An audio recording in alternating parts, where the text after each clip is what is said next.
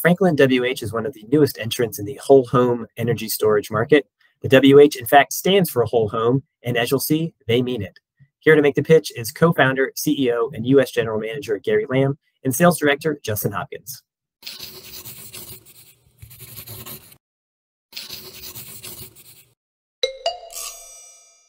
So, Gary, I, I wanted to start with you. You know, uh, Franklin Whole Home is maybe new to uh, installers in our audience. So, I was hoping you could just start us as the CEO, co founder, to give us a quick overview of the company and kind of your position in the market going forward. So our company was founded in 2019, and um, actually uh, there's a bit of story behind the name of the Franklin WH. For Franklin WH, where the WH originally stand for watt hour, but I think it's a little bit uh, too nerd. so not a lot of homeowner and I understand that. Our battery is aimed for whole home markets, and that fit in perfectly with the WH. So right now the company is called Franklin Whole Home.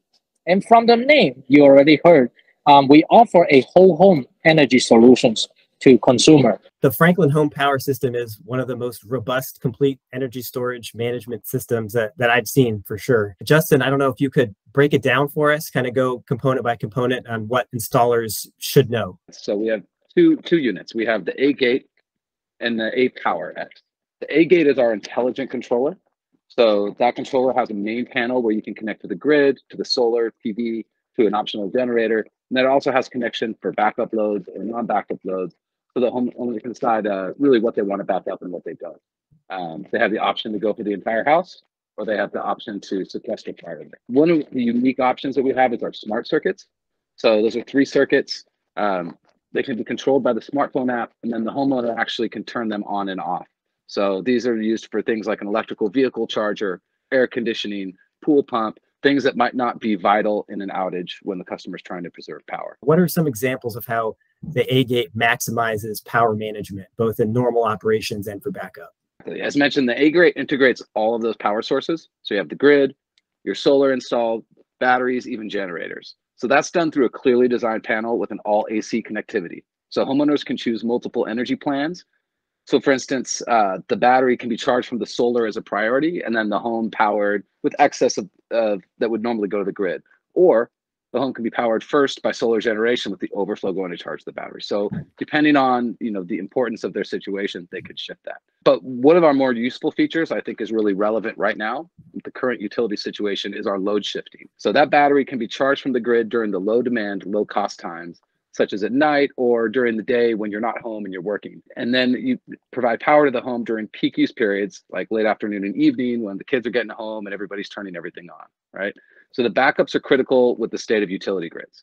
The aGate can switch to battery power in 15 milliseconds. So that's a, essentially data grade speed. This is going to help protect home devices. It's going to keep the home powered. Likely, they're not going to have to change their clocks. So, and then the aGate also has connections for backup and non-backup panels, like we said. So, if the homeowner wants to keep a portion of their, you know, critical loads covered, they can do that and leave parts in the dark. But again, our battery is really designed for whole home use does that replace having to do a sub panel or upgrade with like a span panel or something like that? Right, right. That's such a great question. Um, you know, I've been doing this for 15 years and you know, I saved a lot of people from Federal Pacific panels that probably should have been recalled 30 years ago. Um, with that being said, right, uh, one of the advantages with our battery, especially older homes, is the aGate can eliminate the need for the main panel upgrade. So our aGate actually has a 280 amp bus bar on a 200 amp main connection. So that's going to support folks that are maybe sitting on a 125 or 100 amp panel right now, are looking to add more solar, expand their their energy usage, and electrify their home a little bit more.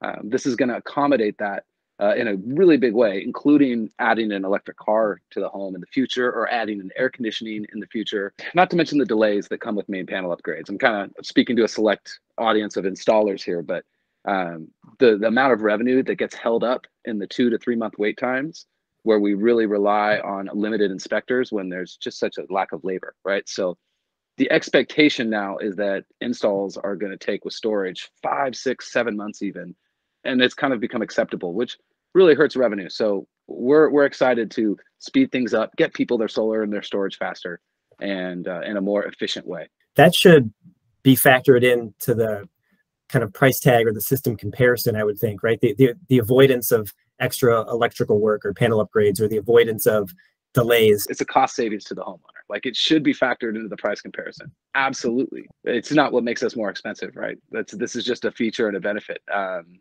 of our like a well-designed system that operates efficiently. So let's switch to the battery for a second. We haven't really touched on it. The aPower. It's an LFP battery, which is great. It has 13.6 kilowatt hours of energy capacity. It can push out 10 kilowatts of peak power. Those numbers pretty much speak for themselves. So my question is on the charging capability. Is the battery able to charge faster than is typical because of the integrated inverter?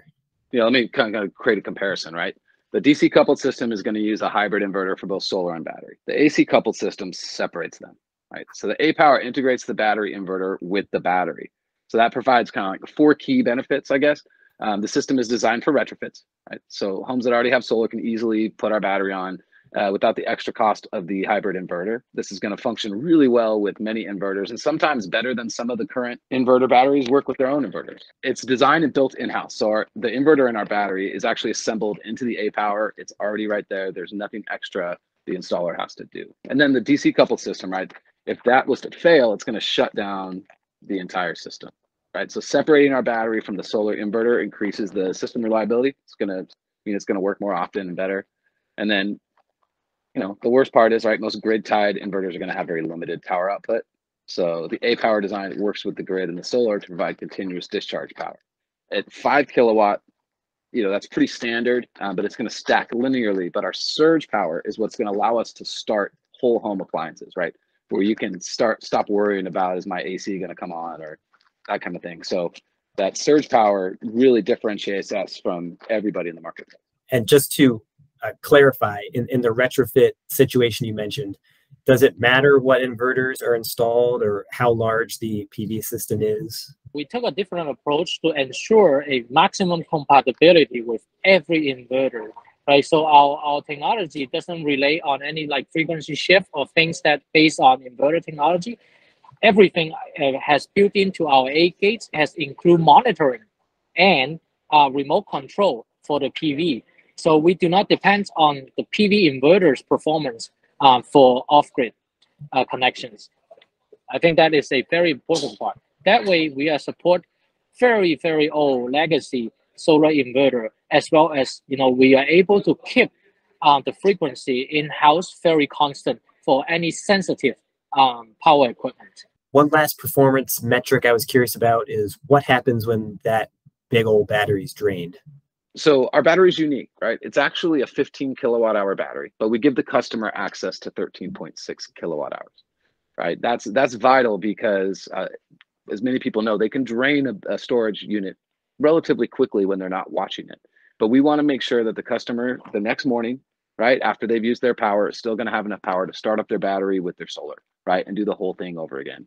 I used to re refer to this as zombie proofing, but the essentially, you know, the system is going to work day in, day out. As long as that PV stays connected, we can keep uh, a little bit of power source in there. That's known as black start. So it's a 13.6 battery, but really it's a 15 kilowatt battery. I want to understand too that how the system, because it connects to the cloud and it uses the internet. So does the system need to be connected to the internet and like how do you maintain i guess that connection you know and outages and things like that the internet connection is going to provide a high level of monitoring right so yes you really need to have that that wi-fi connection or that 4g connection um, but we make it easy right we give a few different options so you can have 4g you can have ethernet you can have wi-fi but the big installer advantage right is that the software can be upgraded cover the connection installers don't need to plan travel time truck rolls for basic software upgrades. like to think this is very 2023, right? It's in the cloud, it's connecting, it's not only giving software upgrades, but more importantly, it's managing those battery cells so that they have an extremely long life.